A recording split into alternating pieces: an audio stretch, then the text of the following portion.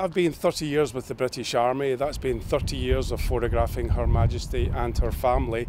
Uh, the royal family have obviously been deeply embedded with the British Army over that time, and it's been an absolute honour uh, to be part of Her Majesty's journey with the British Army for such a long time.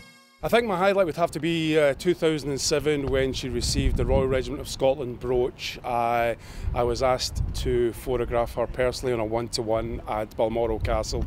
It was something I had a lot of time to prepare for, but it still didn't make the, uh, uh the task any easier. And I'm glad I did it. I'm glad I did it. It was fantastic. Uh, I look back now and I think what an honour and what a privilege it was uh, to have that opportunity to, to be on a one-to-one with Her Majesty in that setting.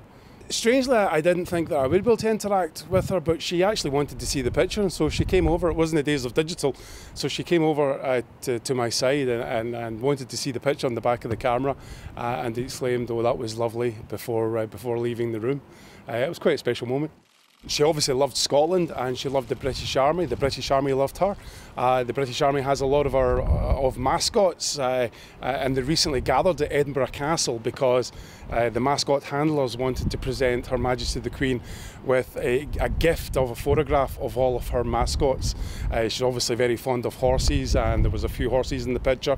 and I was part of of videoing that to show the British Army's appreciation to Her Majesty, and that was presented to her at Balmoral Castle in August. I can only speak for myself in this, but she was always smiling, she was always happy in her work whenever she was in front of my camera.